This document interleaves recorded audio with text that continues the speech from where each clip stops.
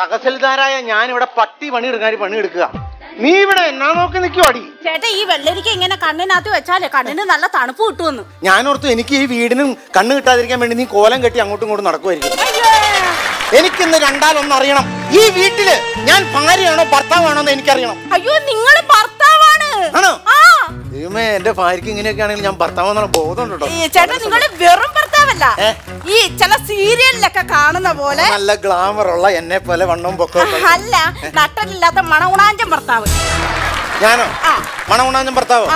നീ ഇതെന്നോട് പറഞ്ഞോടി? എടി നിന്നെ കുറിച്ച് ഞാൻ ഈ പഞ്ചായത്തിൽ എന്തൊക്കെ പറഞ്ഞു നടക്കുന്നത്? എനിക്കറിയാം. നിങ്ങൾ എന്നെ കുറിച്ച് പഞ്ചായത്ത് പറഞ്ഞു നടക്കുമെന്ന് എനിക്കറിയാം. ആ അതല്ലാന്ന്. എന്തോന്ന്? ഞാൻ ഈ പഞ്ചായത്തിൽ നിന്നെ കുറിച്ച് പറഞ്ഞേക്കണുണ്ടല്ലോ. എന്റെ ഭാര്യയാണ് എന്റെ ഭാര്യ. പിന്നെ അല്ലാതെ തെക്കല്ല രവിയുടെ ഭാര്യയാണോ നിങ്ങളുടെ ഭാര്യ? എടി അതല്ലെന്ന്.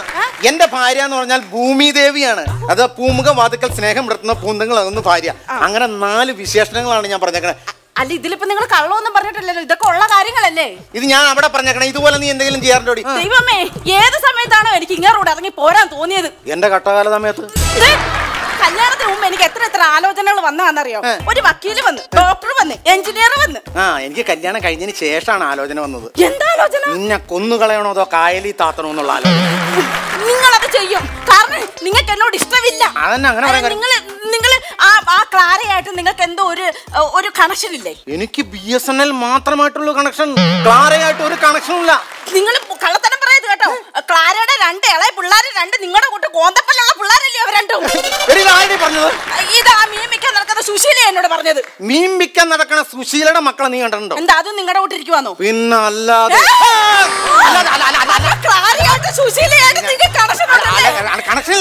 സത്യമായിട്ടും പിന്നെ? ചുമ്മാ പറഞ്ഞുണ്ടാക്കണെന്ന് എനിക്കിപ്പോ ഒരു കാര്യം മനസ്സിലായി. നിങ്ങൾ അകത്തോട്ട് നടക്ക്. ഇല്ല അകത്തൊക്കെ നടക്കും നിങ്ങൾ അകത്തോട്ട് പോ. ഞാൻ പോകില്ല. നിങ്ങൾ അകത്തോട്ട് പോകാനാ പറഞ്ഞത്. ഇല്ല ഞാൻ പോകില്ല. നിങ്ങൾ ഇതെവിടെ പോന്ന്? വടി വെട്ടാൻ. ആ നിങ്ങൾക്കുള്ള വടി ഞാൻ വെട്ടി വെച്ചിട്ടുണ്ട്. നിങ്ങൾ വെട്ടിയ വലിയ വടി വെട്ടി ഞാൻ വെട്ടിയ ചെറിയ വടി വെട്ടുള്ളൂ അടി കൊള്ളുന്നത് ഞാനല്ലേ. ഹലോ? ആടാ. അതെ. ഇരുപത്തെട്ടാം തീയതി എന്റെ മകന്റെ കല്യാണമാണ്. എടാ ഉണ്ണിയാടാ. എന്റെ ദൈവമേ എന്റെ മോന്റെ കല്യാണം കഴിഞ്ഞ് ഉണ്ണിയായിരുന്നല്ല ഇരുപത്തെട്ടാം തീയതി എന്റെ മോന്റെ കല്യാണമാണ്. ഞാൻ ഉണ്ണിയാണ് നിന്റെ കൂടെ പഠിച്ച ഉണ്ണി. ആ അപ്പൊ ഞാനേ ഞാൻ അങ്ങോട്ട് വിളിക്കാൻ പറ്റും ഞാനിപ്പോ നമ്മുടെ തഹസിൽദാർ സുശീലിന്റെ വീട്ടിൽ കല്യാണം പറയാൻ വേണ്ടി വന്നേക്കാണ്.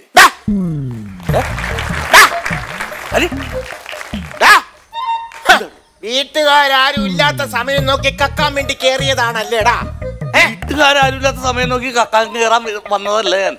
അല്ല. നീ ഇല്ലാത്ത സമയത്ത് വീട്ടുകാരെ കക്കാൻ വേണ്ടി പോയതാണ്? ഇയാൾ എന്തൊക്കെയാണ് പറയണം എടാ നീ കള്ളനല്ലേടാ നീ കള്ളനല്ലേടാ കള്ളനല്ലേടാ കള്ളനല്ലേടാ നീ കള്ളനല്ലേ? എന്റെ ചേട്ടൻ ഞാൻ കള്ളനൊന്നുമല്ല എടാ എന്റെ മുഖത്ത് നോക്കി സംസാരിക്കടാ നീ വേറൊരുത്തന്റെ മുഖത്ത് നോക്കി സംസാരിക്കാതെ എന്റെ മുഖത്ത് നോക്കി വേറൊരുത്തന്റെ മുഖത്ത് നോക്കി സംസാരിക്കാന്ന് ഞാനിവിടെ ഒറ്റക്കൊള്ളു. നിങ്ങൾ മൂന്ന് പേരില്ലടാ?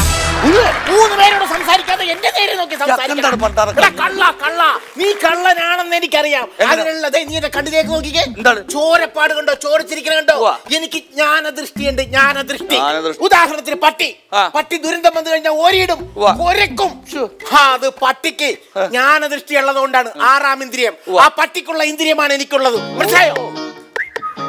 ചേട്ടന് പട്ടിയുടെ ഇന്ദ്രിയോ ഉള്ളേ അതല്ലടാ ഞാൻ ഉദ്ദേശിച്ച ഇന്ദ്രിയം അതല്ല. എന്തുദ്ദേശിച്ചിട്ട് പോയില്ലേ? അതെ തന്റെ മകനുണ്ടല്ലേ തഹസിൽദാർ സുശീലിന്റെ അവനെ കല്യാണം വിളിക്കാൻ വേണ്ടി വന്നതാണ്.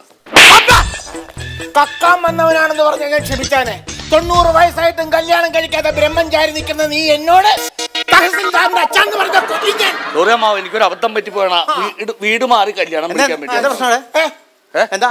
അല്ല ഒരു വീട് എടാ ഉണ്ണി എന്നെ പ്രശ്നം ഇവിടെ സുശീല ആ? നീ എന്താ ഇവിടെ? ഇത് എന്റെ വീട്. നിന്റെ വീട്? ആ. എന്റെ പൊന്നു. ആരാ? സുശീലൻ. ഫോക്കസ് ചെയ്യണോ അല്ല സുശീലൻ എന്റെ വീട്ടിൽ? പിന്നെ എന്റെ വീടല്ല ഇത് ഇവിടെ അല്ല നീ ഞങ്ങളുടെ വീട്ടിൽ പോയി നിൽക്കാൻ പറ്റുമോ? സുശീല ചുമ്മാ നീ വർത്താനം പറയരുത്. കാരണം എനിക്ക് കണ്ണിന് കുറച്ച് കാഴ്ചക്കുറവ് ഉണ്ടെങ്കിലും ഈ കണ്ണട വെച്ചോടുകൂടി തൊണ്ണൂറ് ശതമാനം കാഴ്ച കിട്ടിയെന്നാണ് ഡോക്ടർ പറയുന്നത്. ആണോ? ഓക്കെ നോക്കു നീ. നിന്റെ ക്ലാസ് എവിടെ? ക്ലാസ്സില്ലേ അല്ല ക്ലാസ്. ക്ലാസ് എവിടെയാണ് അല്ല ഇത് തന്നപ്പോ ഇങ്ങനെ ഇരുന്നു ആണല്ലേ നിങ്ങളുടെ വീട് എന്റെ വീടിന്റെ അപ്പുറത്തല്ലേ? മൂന്നാമത്തെ വീട്. അപ്പൊ സോറി കേട്ടോ. അപ്പൊ കല്യാണം വിളിച്ചു. എനിക്ക് തെറ്റിപ്പോയതാ. അപ്പൊ കല്യാണം വിളിച്ചു. എന്റെ വീടല്ല ഇത്. അതെ. ഒരു മിനിറ്റ്. ഒരു മിനിറ്റ്. അപ്പൊ മനസ്സിലായില്ല? മനസ്സിലായി. കല്യാണം. തലേന്ന് വരണം. എടാ എന്താ സംഭവം? ഒന്നുമില്ല പുള്ളി എനിക്ക് ഒരു സാധനം തന്നു ഞാൻ അങ്ങോട്ട് തിരിച്ചു കൊടുത്താ എന്തെങ്കിലും നമുക്ക് കിട്ടിയാൽ തിരിച്ചു കൊടുത്തില്ലേ ഭയങ്കര ബുദ്ധിമുട്ടാണ് എത്ര നാളായി കണ്ടിട്ട് വിശേഷങ്ങൾ പറ. ഇരുപത്തെട്ടാം തീയതി എന്റെ മകന്റെ കല്യാണമാണ്. ആ നിക്കറിടാതെ മൂക്കൾ ഒലിപ്പിച്ചാണ് ആ മുട്ടയിൽ ഇറക്കേണ്ടിയോ? എടാ അത് ഇരുപത്തഞ്ച് വർഷം മുമ്പ്. ഇപ്പൊ അവൻ വളർന്ന് പറന്ന് പന്തലിച്ച് വലിയൊരു വടവൃക്ഷമായി മാറിയേക്കല്ലേ നീ ചുമ്മാ പിള്ളേർ വലുതാന്ന് പറഞ്ഞൊരു കൊച്ചു പിള്ളേരെ പിടിച്ച് കല്യാണം കഴിപ്പിക്കരുത്. ഒരു ഉത്തരവാദിത്തമില്ല അവനെ കോളേജിലൂട്ടി ഞാൻ പഠിപ്പിച്ച്. അവൻ അവിടെ ഉറച്ചു നിന്നില്ല. രണ്ടു ദിവസം കഴിഞ്ഞപ്പോ അവൻ തിരിച്ചു വന്ന്. അവനാണ് ഡൽഹിയിൽ ഒരു ജോലി റെഡി ആക്കി കൊടുത്ത് ഉറച്ചു നിന്നില്ല. രണ്ടു ദിവസം കഴിഞ്ഞപ്പോ തിരിച്ചു വന്ന്. എന്നിട്ട് ആളിപ്പോ എവിടെയുണ്ട്? ഇപ്പൊ അങ്ങോട്ട് പോരുമ്പോ അവൻ ടോയ്ലറ്റിലുണ്ട്. അവിടെയെങ്കിലും ഒന്ന് ഉറച്ചു നിന്നാ മതിയായിരുന്നു. കല്യാണത്തിന് സെലിബ്രിറ്റിനെ ഒന്നും പറഞ്ഞു പോയേക്കാണ്. അതെ. കാണാം നമുക്ക്. ആകെ അതൊക്കെ പോട്ടെ. എന്താ നിന്റെ വിശേഷങ്ങൾ എന്റെ വിശേഷങ്ങളൊന്നുമില്ല. സന്തോഷം സുഖമായിട്ടിരിക്കണു അപ്പൊ അതെ അളിയാ ഫാമിലി ആയിട്ട് അങ്ങോട്ട് എത്തിയ ഫാമിലിയായിട്ട് നീ ആൾ കൊള്ളാട്ടോ. നമ്മൾ ഇത്ര വർഷമായിട്ട് കാണാതിരുന്നിട്ടേ. നീ ഇങ്ങോട്ട് വന്നിപ്പോ അവളെ ഇങ്ങോട്ട് ഒന്ന് വിളിച്ചോണ്ടിരാൻ പാടായിരുന്നോ ആരെ? നിന്റെ ഭാര്യനെ. ദേ എന്റെ ഭാര്യയുടെ കേസ് മാത്രം പറയുന്നത്. വേറെ എന്ത് വേണമെങ്കിലും പറഞ്ഞാൽ ഞാൻ സഹിക്കും പക്ഷെ എന്റെ ഭാര്യയുടെ കേസ് മാത്രം ഞാൻ എന്താ പ്രശ്നം? ഞാൻ പറഞ്ഞാൽ കേൾക്കില്ല അനുസരിക്കില്ല ഒരു വൃത്തികെട്ട ജന്മം. അതൊക്കെ എന്റെ ഭാര്യ. എന്റെ ഭാര്യ ഞാനൊന്ന് നോക്കിയാണ്ടല്ലോ. ക്രന്ന് ഒച്ച വെക്കും എന്താണ് മുട്ട് തമ്മിൽ കൂട്ടിയിരിക്കണത് പൊന്നു? മോനെ ഞാൻ ഒരു വര വരച്ചിട്ട് അവിടെ കേറി നിൽക്കാൻ പറഞ്ഞ ആൾ വര വരേ കേറി നിൽക്കും അതെ. ആ ഒരു ദിവസം എനിക്ക് ചായ അങ്ങോട്ട് കൊണ്ടു തന്നു. ചേട്ടാ എന്ന് പറയാല്ല ഒരു തുള്ളി എന്നെ മുണ്ടയിൽ വീണു. എനിക്ക് അങ്ങോട്ട് കലി കയറി അപ്പൊ തന്നെ ഞാൻ ഒരു വര പറഞ്ഞു കയറി വരയിൽ. വര വര കയറ്റി നിർത്തിയപ്പോ തന്നെ എന്റെ ഒരു കൂട്ടുകാരൻ ഗൾഫിൽ നിന്ന് വന്നവൻ പറഞ്ഞു എടാ നീ ഇപ്പൊ എവിടെ ഉണ്ട് ഞാൻ ബാറിലുണ്ടെന്ന് അവൻ പറഞ്ഞു. ഞാൻ നേരെ അവിടെ ചെന്ന് എന്റെ പൊന്നടാവേ ഞാൻ ചെന്ന് ആറായി ഏഴായി എട്ടായി ഒമ്പതായി പത്തായി പതിനൊന്നായി നാല് മണിയായപ്പോഴാണ് ഞാൻ ഓർക്കണത് ഭാര്യ വരയിൽ നിൽക്കുവാണല്ലോ എന്ന്. ഞാൻ അവിടെ നിന്ന് ഓടി വരുമ്പോ കാണുന്ന കാഴ്ച എന്നാന്നറിയാമോ എന്താണ്? ഇവൾ പെരക്കാത്ത നിന്ന് പുറത്തേക്ക് നോക്കി. അവളാരാണ് വിളിച്ചു വരുത്തുന്നത്? നാല് മണിയായില്ലേ വരയിൽ നിന്ന് ഉറക്കം തൂങ്ങണത്? ഉറക്കം തൂങ്ങുവാണെന്ന് ഞാൻ അത്രയ്ക്ക് കലിയ. ഇതുപോലൊരു ഉത്തമയായ ഭാര്യനെ എനിക്ക് കിട്ടിയത് ഞാൻ ദൈവത്തോട് എന്നും നന്ദി പറയും. എന്റെ പെങ്ങളെ എനിക്കൊന്ന് പരിചയപ്പെടണം. നിന്റെ പെങ്ങൾ കുട്ടമ്പുഴ കെട്ടിച്ചു വിട്ടേക്കുമല്ലേ അതല്ല നിന്റെ ഭാര്യ അതായത് എന്റെ പെങ്ങൾ. വിളിക്കും. ഞാൻ പരിചയം അവളെ വിളിക്കണം അവളെ ഇവിടെ ഇല്ല? അവൾ ഇവിടെ ഇല്ല അയ്യോ അവിടെ പോയി? അവൾ വില്ലേജ് ഓഫീസിൽ പുല്ല് മുറിക്കാൻ പോയതാ. വില്ലേജ് ഓഫീസിൽ പുല്ല് മുറിക്കാൻ വില്ലേജ് ഓഫീസിന്റെ അവർക്ക് അയൽക്കൂട്ടത്തിൽ പണിയുണ്ട്. വില്ലേജ് ഓഫീസിന്റെ ചുറ്റും പുല്ലാന്ന് പറഞ്ഞു. അത് മുറിക്കാൻ വേണ്ടി പോയ ഇന്ന് വരില്ല. അതെന്താ ഇന്ന് വരാത്ത വൈകുന്നേരം ആവുള്ളൂ അപ്പൊ നീ പോയിട്ട് പിന്നെ നമുക്ക് ഇവിടെ ഇരുന്ന് സംസാരിക്കാവുള്ളൂ. ഒറ്റ വന്നിട്ട് നീ അങ്ങനെ വർത്താനം പറഞ്ഞു നിനക്ക് ഇത്രയും കാർഡ് കൊടുക്കണ്ടേ? അത് ശരിയാണ്ട ആ. ഞാൻ ഒരു കാര്യം ചെയ്യാം. നമ്മുടെ സഹദേവൻ അപ്പുറം ഉള്ള താമസമാണ് വില്യാപസിനേക്ക് അപ്പുറം. അപ്പൊ ഞാൻ അവിടെ പോയി കല്യാണം കൊടുത്തിട്ട് നീ അവിടെ അങ്ങ് പോക്കോ? ഇല്ല ഞാൻ ഇങ്ങോട്ട് വരും. എനിക്ക് എന്റെ പെങ്ങളെ പരിചയപ്പെടണം. പരിചയപ്പെട്ടിട്ട് ഞാൻ പോവുള്ളൂ. പെന്നെ എന്നെ കൊലക്ക് കൊടുത്തിട്ട് നീ പോകൂ. എങ്ങനെ? അല്ല കൊല വെട്ടി പഴിപ്പിക്കാൻ പറ്റണ്ട അതിനകത്തൊരു കാ തിന്നിട്ട് നീ പോകൂ. അതൊക്കെ അത്രേ ഉള്ളൂ അറിയാ അപ്പൊ ഞാൻ പോയിട്ട് ഞാൻ കല്യാണം വിളിച്ചിട്ട് ഇങ്ങോട്ട് വരും. എന്റെ ദൈവമേ ആവശ്യമില്ലാത്തതൊക്കെ പൊക്കി പറഞ്ഞ് ആകെ നിങ്ങളോട് പോന്നോ. നീ നിക്കുവാണോന്ന് വെച്ചപ്പോ എന്നാ കിടന്ന് കാണിക്കാന്ന് കരുതി. എന്റെ നിങ്ങൾ ഇതുവരെ കഴിയോ? എടി പാത്രം കഴുകാൻ തുടങ്ങിയപ്പോഴത്തേക്ക് എന്റെ എന്റെ ഒരു കൂട്ടുകാരന്റെ കല്യാണം വിളിക്കാൻ കയറി വന്നു. അപ്പൊ അതുകൊണ്ട് പാത്രം അല്ല പാത്രം കഴുകാനായിട്ട് അവൻ പോയതിനു ശേഷം ഞാൻ ചെല്ലാൻ നേരത്തെ മോട്ടർ കേടായി പോയി. അയ്യോ മോട്ടർ കിടക്ക് ഞാൻ ഇന്ന് എങ്ങനെ കുളിക്കും? ആ തലയിൽ വെളിച്ചെണ്ണ ഒഴിച്ചിട്ടേ. നീ കിണറ്റിലേക്ക് അങ്ങ് ചാട്. അയ്യോ അപ്പൊ ഞാൻ മൂച്ചാവത്തില്ലേ ചത്തില്ലെങ്കിൽ ഞാൻ മണ്ണിട്ട് മൂടി നിന്നെ ഞാൻ കൊല്ലാൻ വേണ്ടി കാത്തിരിക്കുക എന്ന് പറഞ്ഞ എനിക്ക് ഈ വീട്ടിൽ എന്തെങ്കിലും എൻജോയ്മെന്റ് ഉണ്ടോ? നിങ്ങൾക്ക് എൻജോയ്മെന്റ് ഇല്ലേ? നിങ്ങൾ എന്തോ മനുഷ്യ പറയുന്നത്? അടുത്ത മാസം നമ്മൾ അമേരിക്ക പോവല്ലേ? എന്നെ അമേരിക്ക കൊണ്ടോ പിന്നെ അല്ലാതെ ഞാൻ രവിയെ വിളിച്ചോണ്ട് പോട്ടെ എന്നത്തേക്കല്ലേ? ഇല്ല ഞാൻ ഞാൻ വരുന്നു. വീനെ കൊണ്ടോ ഞാൻ സമ്മതിക്കില്ല ഞാൻ വരുന്നു. അത് എന്തിനാടി എന്നെ അമേരിക്ക കൊണ്ടാണ് അതെ ഏട്ടാ അമേരിക്കയിലെ ഒരു ആശുപത്രിയിൽ ആണുങ്ങളെ പ്രസവിപ്പിക്കുമെന്ന് പറയുന്ന കേട്ടെ നമുക്ക് പോയി പ്രസവിക്കാം. ഞാനോ? എന്റെ ദൈവമേ ഇനി കല്യാണം കഴിക്കാൻ നിൽക്കുന്ന ചെറുപ്പക്കാരോട് ഒരു അപേക്ഷയുള്ളൂ. കെട്ടുതാലി വലിച്ചു പൊട്ടിച്ചാലും ഒരിക്കലും ഒരു പെണ്ണിന്റെ കഴുത്തിൽ താലി കെട്ടരുത്. എന്തേട്ടാ അങ്ങനെ പറഞ്ഞേ? ഈ കെട്ടുതാലി വലിച്ചു പൊട്ടിച്ചാൽ നാല് വർഷത്തെ കഠിന തടവുള്ളൂ. മറ്റത് ജീവപര്യന്തം ജീവപര്യന്തം.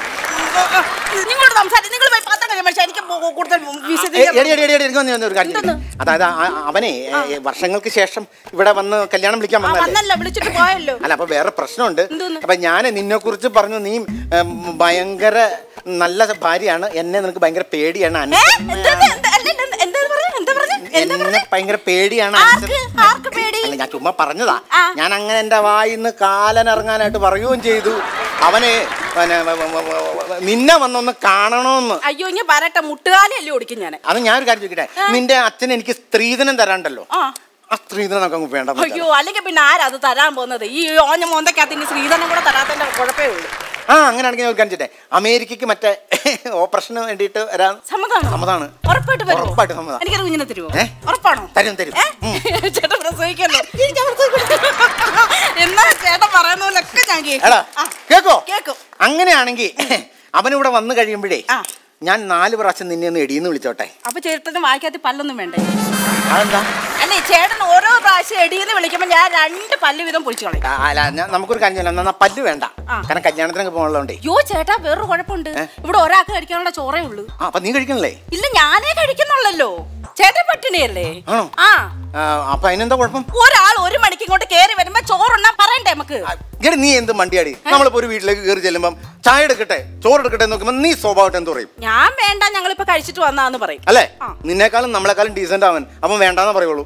അങ്ങേര് വേണോന്നങ്ങാണം പറഞ്ഞ. കാൽ കൂണ്ട എന്റെ ഊപ്പാട് വരും അതല്ലേ? എനിക്കറിയാം.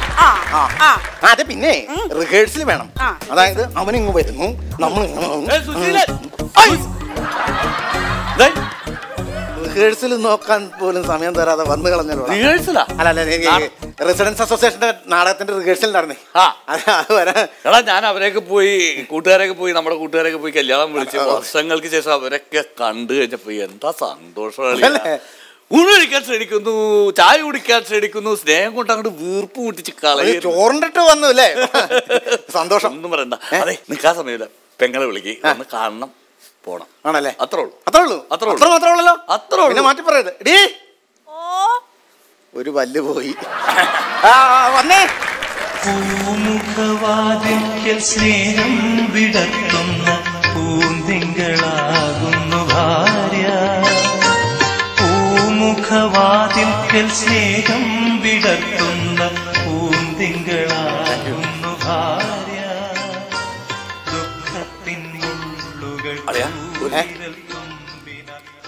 നിന്റെ ഭാര്യനാണോ ഇരുപത്തഞ്ച് ശതമാനമുള്ളൂ ബാക്കി ഗ്രാഫിക്സാ ഏ? നീ എന്നെ കല്യാണം വിളിക്കാൻ വന്നാണോ? എന്റെ പെൺമുളനെ അടിച്ചോണ്ട് പോകാൻ വന്നാണോ? അല്ല ഞാൻ കണ്ടപ്പോ എന്താ ഒരു സന്തോഷം അങ്ങോട്ട് പറഞ്ഞതേ ഉള്ളൂ. ആണല്ലേ? അപ്പൊ പെങ്ങളെ സന്തോഷം പരിചയപ്പെടാനൊക്കെ സാധിച്ചതിൽ വളരെ സന്തോഷം. ഈ വരുന്ന ഇരുപത്തി എട്ടാം തീയതി എന്റെ മകന്റെ കല്യാണമാണ്. അപ്പൊ നിങ്ങൾ രണ്ടുപേരും കൂടി നേരത്തെ അങ്ങോട്ട് എത്തിയേക്കണം ചേട്ടൻ പറഞ്ഞായിരുന്നു ആ അപ്പൊ നേരത്തെ എത്തിയേക്കണം. വരാതിരിക്കരുത്. ഇല്ല. ഒരു മണി കഴിഞ്ഞ് ഇനി ഞാൻ നിൽക്കുന്നില്ല പോണം. ഇനിയും കല്യാണം വിളിക്കാനുണ്ട്. അപ്പൊ ശരിയാടാ ഓക്കെ ബൈ ആ, അതെ. ഭക്ഷണം കഴിക്കാൻ നീ പോകണം ആദ്യമായിട്ട് വന്നിട്ട്? ഏഹ് ഭക്ഷണം കഴിക്കാൻ നീ പോകണം ആദ്യമായിട്ട് വന്നിട്ട്? എന്നാ കഴിച്ചോളാം. എന്നാ ചോദിച്ചാലോ ചോറ് കൊടുത്താലോ?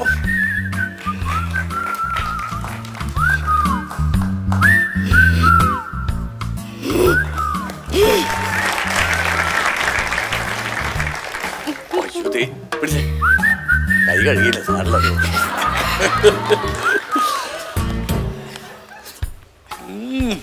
ആ അവിടെ കൊണ്ടു വെച്ചാലേ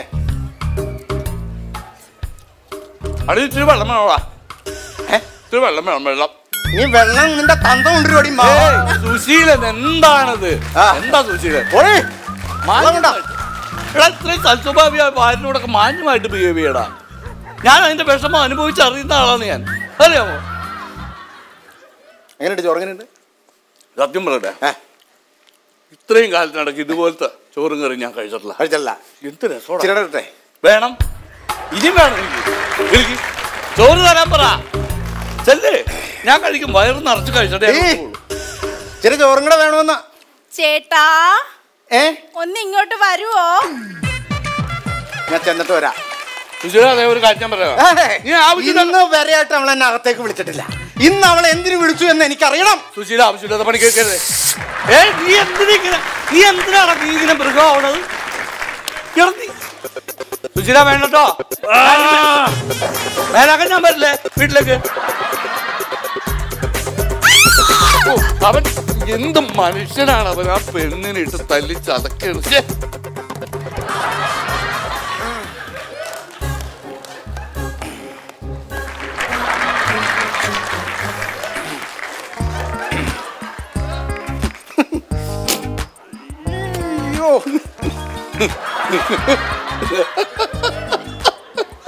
നീ എന്തിനാ ചിരിക്കണേ? എന്റെ ഭാര്യ എന്നെ പല പ്രാവശ്യവും മൺകലത്തിന് അടിച്ചിട്ടുണ്ട്. പക്ഷെ ഈ വക്ക് പൊട്ടാന്നുള്ള അടിയിട്ടില്ല അതല്ലടാ. അവൾ വെറുതെ തള്ളിയതല്ലേ എന്നെ. അതെനിക്കറിയാം അവൾ ചുമ്മാ തള്ളിയതാന്ന് പക്ഷെ നീ അവളെ കുറിച്ച് അവളെ ആനയാണ് ചേനയാണ് പൂനയാണെന്ന് പറഞ്ഞ് തള്ളിയാ തള്ളണ്ടല്ല. അതൊരു ഒന്നൊന്നര തള്ളായിരുന്നു തള്ളിയാ